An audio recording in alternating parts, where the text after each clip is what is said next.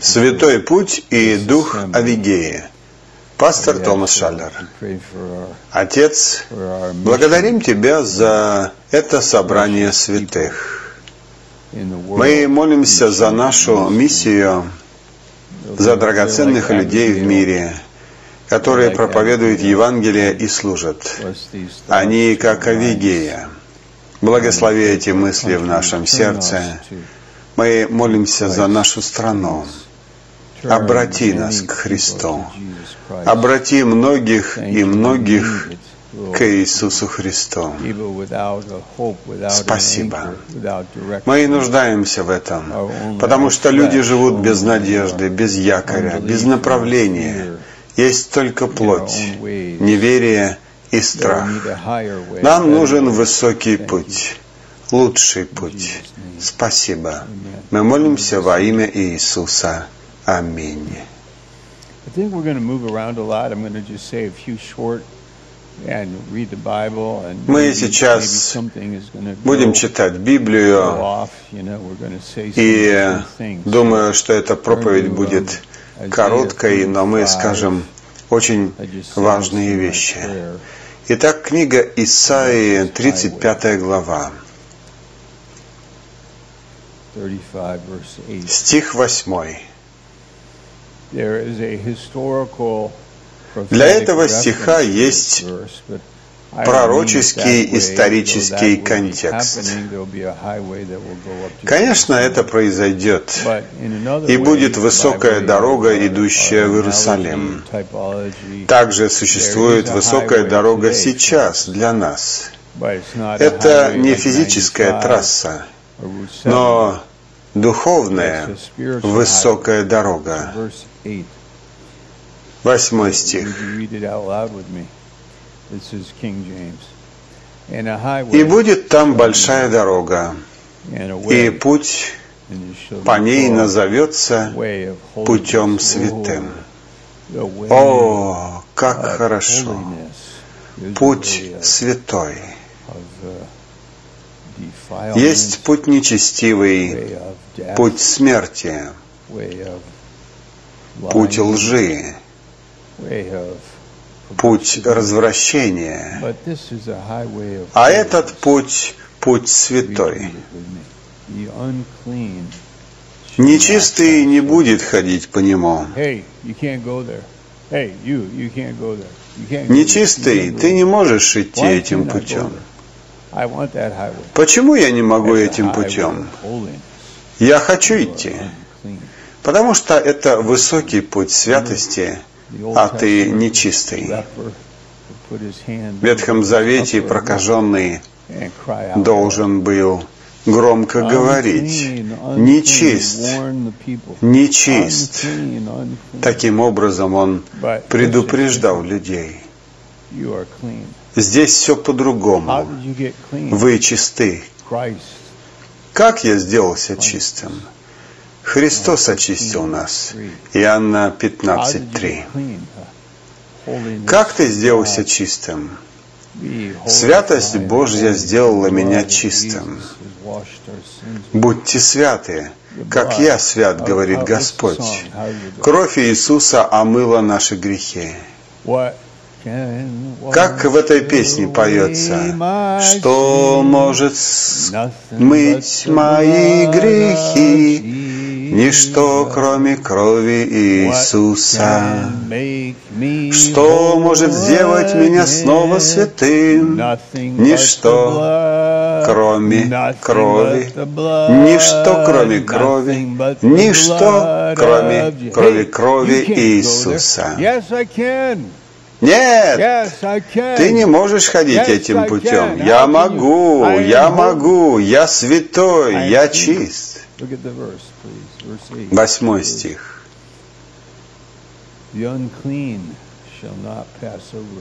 Нечистый не будет ходить по нему,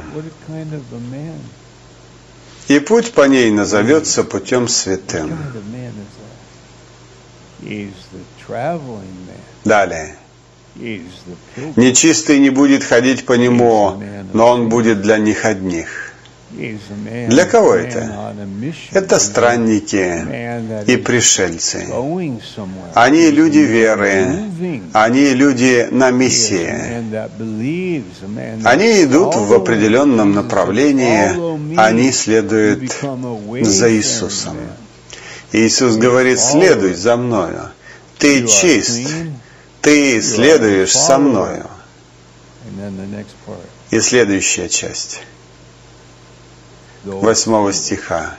Идущие этим путем, даже неопытные. Я сейчас встану и, пред, и притворюсь, или покажу, что я неопытен или глупый.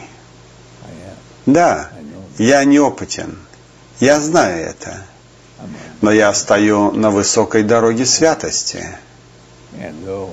Несмотря на то, что я неопытен, я мудр. Несмотря на то, что я грешник, я чист.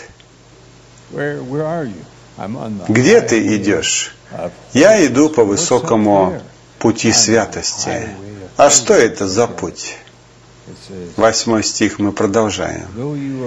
Идущие этим путем, даже и, не, даже и неопытные, не заблудятся.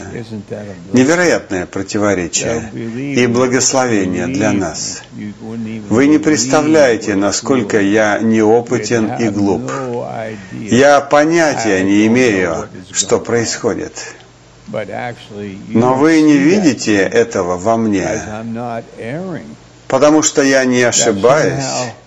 Каким-то образом я принимаю правильные решения.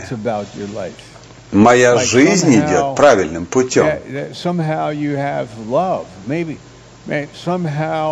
Почему у тебя такая власть в жизни? Потому что я иду высоким путем святости.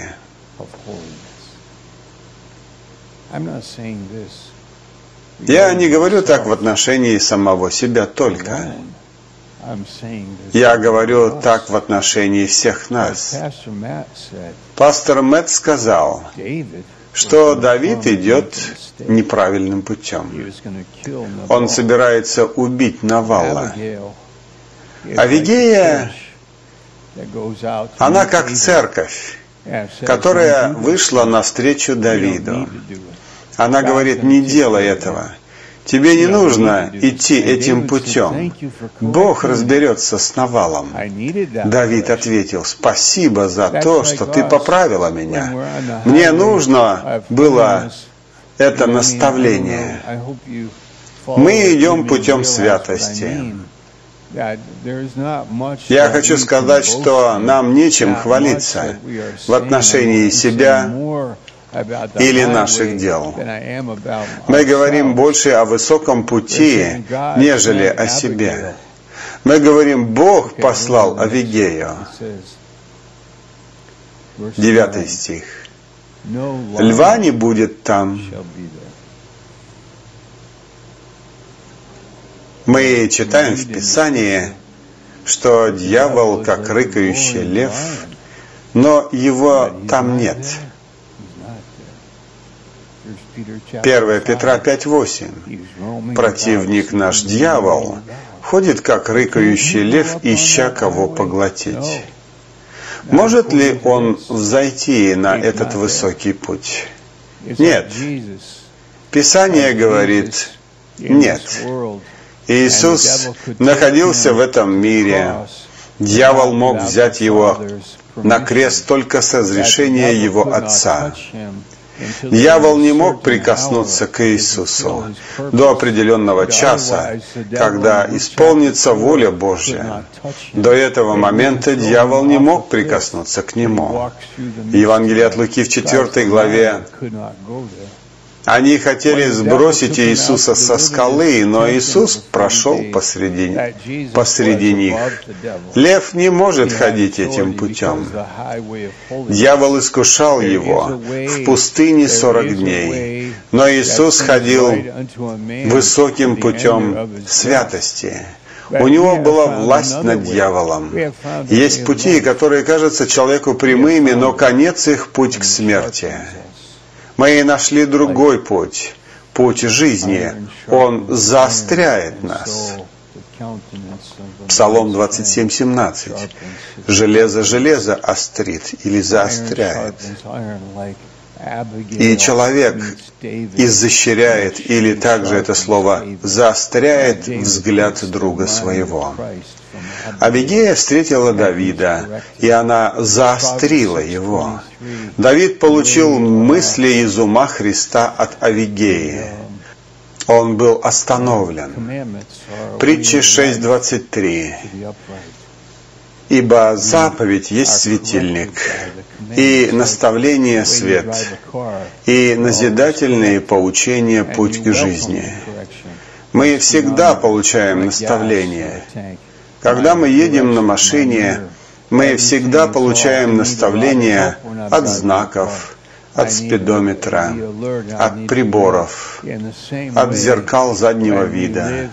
Мне нужно быть очень внимательным за рулем. Также мы живем свою жизнь как верующие. Мы должны ходить осторожно. Ефесянам, Ефесянам 5 глава, 15 стих. Мне нужно, чтобы меня встретила Авигея, поговорила со мной. Есть время, когда я получаю совет от Авигеи, которая знает, как устрояется дом. Притчи 14.1. Мудрая жена устроит дом свой, а глупая разрушит его своими руками. Давайте продолжим Девятый стих. «Льва не будет там, и хищный зверь не войдет на него». Что это за хищный зверь? В иудейском законе было такое поверье в отношении того человека, которого убивает лев или медведь, или хищный зверь. Это проклятие. Проклятием было то, когда человека убивал хищный зверь. Так происходило в те времена. На Ближнем Востоке обитали две дикие звери в Израиле. Здесь говорится, что хищники не могут ходить по этому высокому пути святости. У Иисуса была власть над ветром, над морем, над демонами. Иисус пророчествовал о том, что будет происходить в наших сердцах. Он видел, что будет происходить в наших сердцах.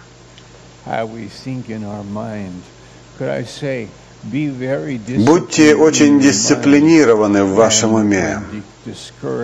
Когда депрессия, страх хотят завладеть вашим умом, если ваш ум пассивен, вы можете оказаться под властью этих проекций и идей. Uh, uh, Не делайте этого.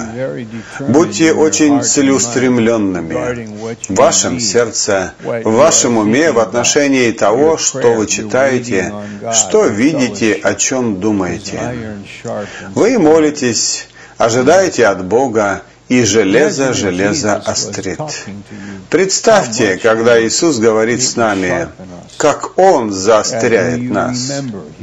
Он может сказать, помнишь ли ты, Помни жену Лота. Или берегись закваски фарисейской и саддукейской. Или встань спящий, и оживит тебя Христос. Или как вы не могли молиться со мной одного часа? Придите и отдохните, ибо много было приходящих. Как замечательно его наставление.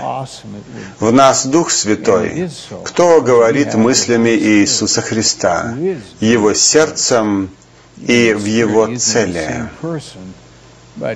Это не та же самая личность, но те же самые мысли и цели.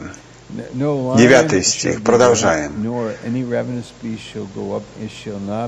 Хищного зверя не найдется там, а будут ходить искупленные. И возвратятся избавленные Господом, придут на Сион с радостным. Куда возвратятся? На Сион, в Иерусалим, город Давидов.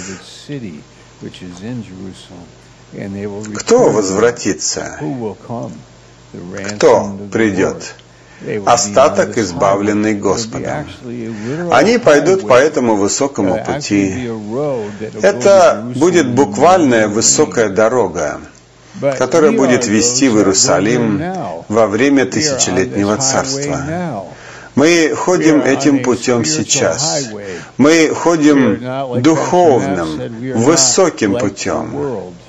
Мы не такие, как этот мир. Мы другие.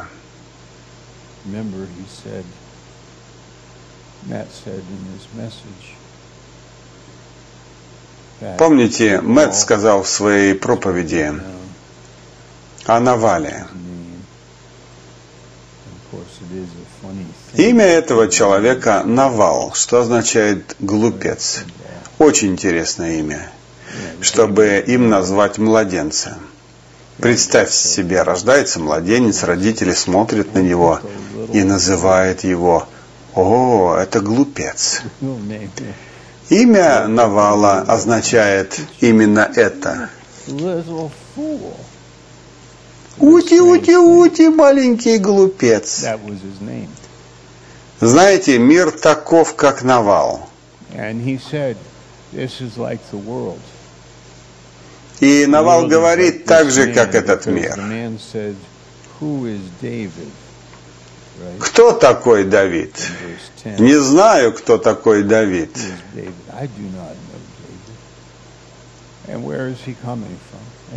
Я не знаю, откуда он. Многие рабы сейчас бегают от своих господ. Для меня его слова ничего не значат, и он для меня пустое место. Этот мир так думает об Иисусе Христе. Кто Он такой? Я не знаю Иисуса. Он мне не интересен.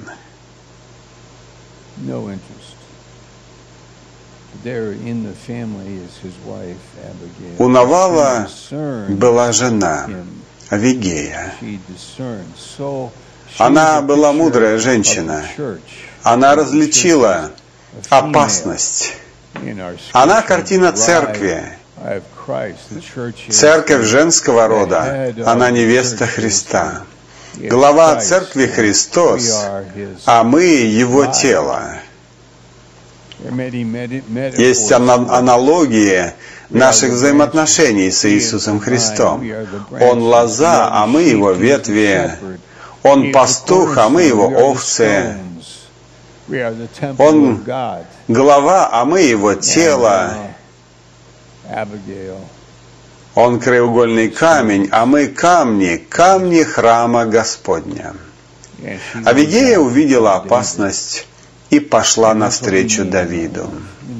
Нам нужно, чтобы кто-то поговорил со мной и наставил меня. Мне нужна высокая дорога праведности, чтобы идти по ней. И десятый стих говорит, «И возвратятся избавленные Господом, придут на Сион с радостным восклицанием, и радость вечная будет над головой их. Они найдут радость и веселье, а печаль и воздыхание удалятся». Мир нуждается в радости и веселье. Мир нуждается в, в чистом чувстве юмора, в легкости, в радости от Бога. Почему у меня нет радости? Может быть, потому что я живу во грехе. Когда я живу во грехе, я огорчаю Духа Святого и теряю мою радость. У Бога есть высокий путь праведности, где обитает радость. Я исповедую мой грех, и Господь очищает меня от греха и дает мне свою радость. Я прощен. Псалом 31. Источник нашей радости в том, что мы прощены. Я прощен за каждый грех, который я когда-либо совершил. Я назван именем Бога. Бог мой Отец. Иисус Христос мой Спаситель. Дух Божий в этом мире, чтобы я жил совсем по-другому. Жил по вере в Бога. Очень много людей живет в своих чувствах, в своих рассуждениях, в своих мнениях и идеях. Посмотрите на Facebook и другие социальные сети, в которых люди говорят о том, что они думают – это очень низкий уровень, очень низкий уровень. Там нечистота, там реакция, там эмоционализм и бесконечные мнения, как будто мир крутится вокруг них. Давид идет, чтобы убить Навала. Это то же самое, что я говорю через социальные сети. И это попало в социальные сети. Авидея выходит навстречу Давиду и говорит, «Давид, не делай этого. Это ниже твоего достоинства. Послушай, Давид, ты помазанный царь, будущий царь Израиля. Ты особенный человек. Давид, не делай этого». Давид поблагодарил ее, вернулся домой, и через десять дней Навал умер. Его сердце стало каменным, и он умер через десять дней. Думаю, что так произошло с Аль Капоне. Он был боссом мафии в Чикаго. Ему было в районе 40 лет. Могущественный, талантливый. Он вошел в кому и умер от удара.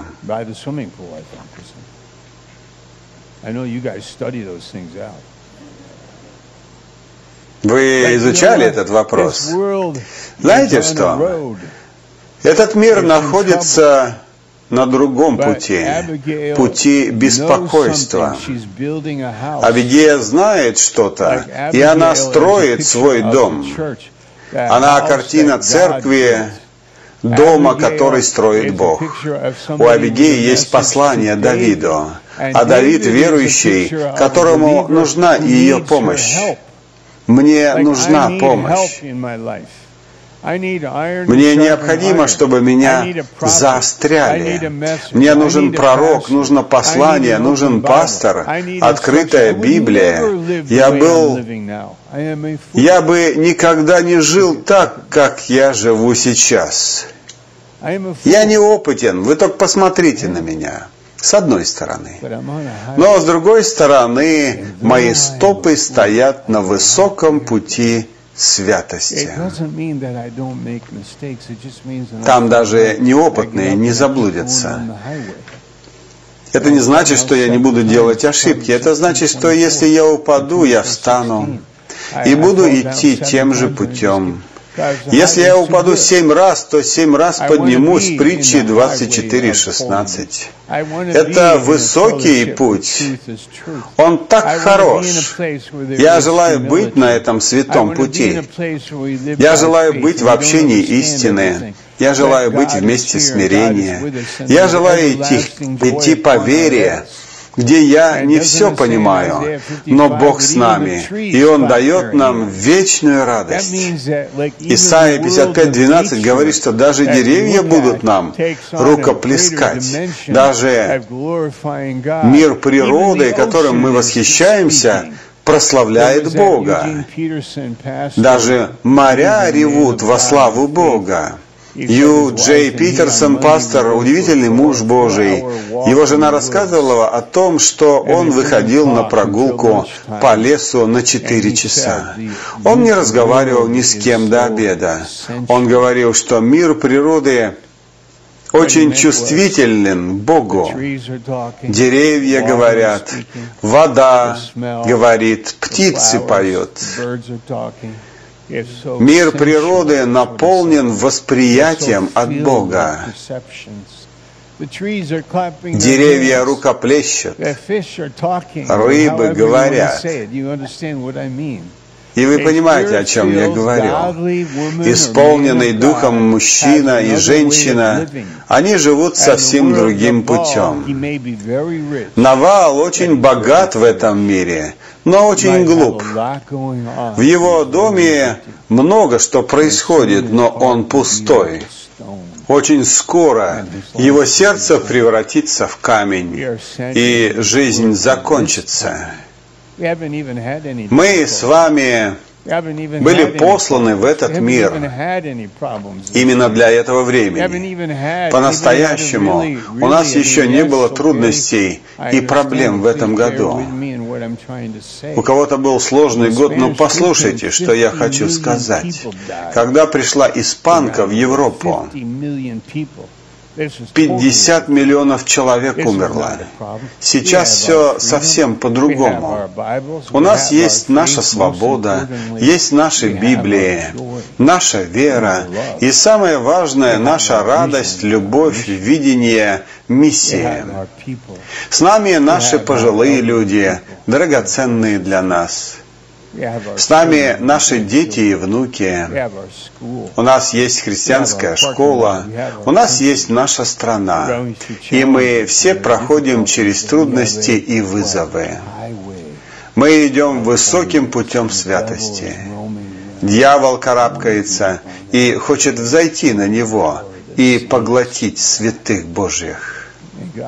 Бог говорит, сбросьте его вниз, убирайся. Ты не можешь войти на этот путь. На этом пути происходит что-то от Бога. Людям нужна радость, нужно послание, нужна любовь, ободрение – им нужна семья и чье-то лицо, которое будет заострять их лицо. Им нужна забота и доброта. Люди нуждаются друг в друге. Нам нужна радость наших друзей. Нам нужна Авидея, который выйдет мне навстречу и скажет, не делай этого. Наши приношения упали. Давайте будем заострять нашу веру. Давайте будем доверять Богу в финансах. Некоторые из нас подпадают под влияние своего настроения. Мне нужна радость. Мне нужен смех до боли в животе. Мне нужно тело Христа и также Авигея, который выйдет навстречу мне и которая скажет мне слово. Давайте мы с вами в заключение откроем еще одно место Писания. Послание к Галатам, 6 глава, 1 стих. Кеннет Уист очень хорошо разобрал этот стих. Итак, Галатам 6.1. Братья, если и впадет человек в какое согрешение. Слово «согрешение» означает «ошибка». Это может быть то, что я не хотел делать, но это произошло. Я сделал это от недостатка мудрости из-за определенных событий. Я оказался в неправильном месте, в неправильное время, с неправильными людьми. Шестой стих. Вы духовные. Думаю, что так часто происходит в теле Христа. Люди спотыкаются и захвачены своим падением. Они недоумевают, как это произошло.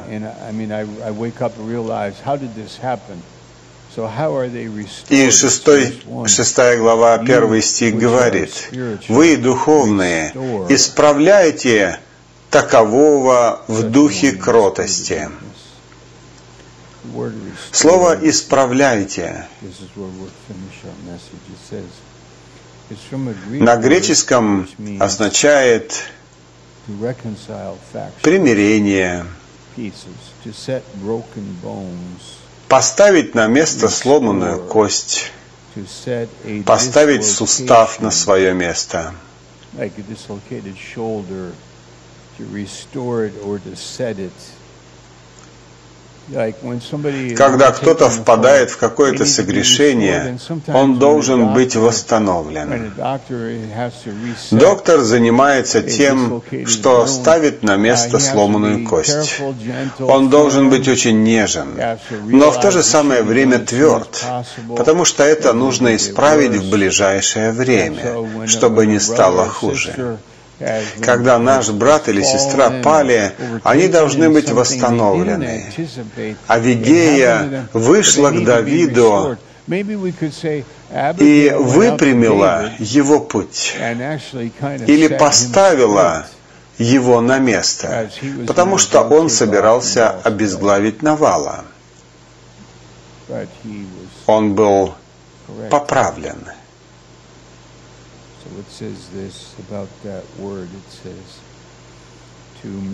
И буквальное значение слова «исправляйте таково». Павел говорит о рожденном свыше верующем, о мытом кровью Христа, члена тела Христа, который соединен с главою тела со Христом. Этот святой согрешил, и его общение с главой не находится на должном уровне. Это похоже на плечевой сустав, который вышел из своего места и не находится в правильном состоянии в отношении всего тела. Этот святой становит, остается членом тела Христа, так же как сустав остается членом тела Христа. Когда сустав находится в таком положении, то рука не может действовать со всем телом. То же самое, когда верующий находится в таком положении, он не может действовать со всем телом Христа.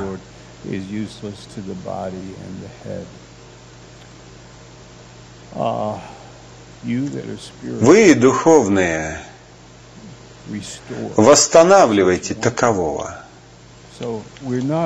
Мы не полицейские, которые всякий раз поправляют друг друга и делают замечания. Мы духовные люди, которые заботятся. Это слово ободрения. Мы не вмешиваемся в личную жизнь верующего. Мы люди веры, у нас есть слово мудрости, мы способны дать хороший совет. В церкви так должно происходить. У нас есть тенденция быть небрежными и забывать, уходить, исчезать. Не оставляйте собрания своего, потому что мы видим приближение Дня Онова. Нам нужно собрание. Мы идем высоким путем праведности. И у нас очень важное послание людям вокруг нас. Аминь. Помолитесь со мной, пожалуйста.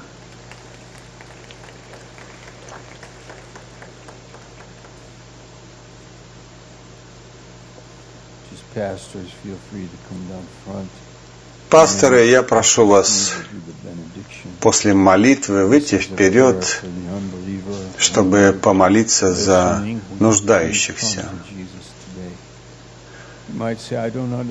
И сейчас мы обращаемся к неверующим в Иисуса Христа. Если вы еще не верите в Иисуса Христа, придите к Нему сейчас. Вы скажете, я не все понимаю, это ничего.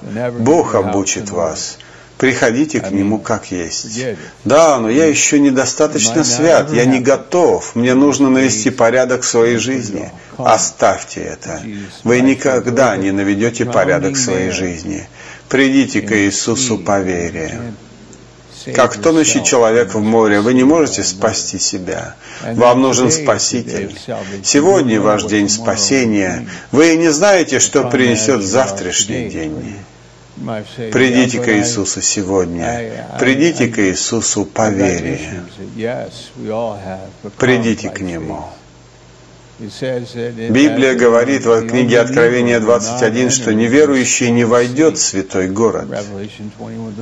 Боязливый не войдет в этот город. Убийца, лжец, оскверненный не войдет в святой город. Придите к Иисусу сейчас. Он спасет вас, простит вас и даст вам новое рождение, рождение Дитя Божьего. Тогда вы войдете в святой город. Скажите Иисусу, я верю в Тебя, Иисус, Ты нужен мне, спаси меня. Аминь.